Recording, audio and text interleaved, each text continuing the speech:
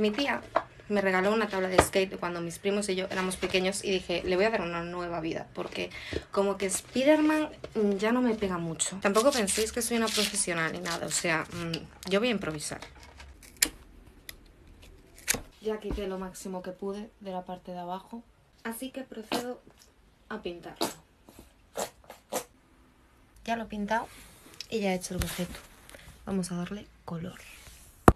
Es que me flipa. Es brutal. Increíble.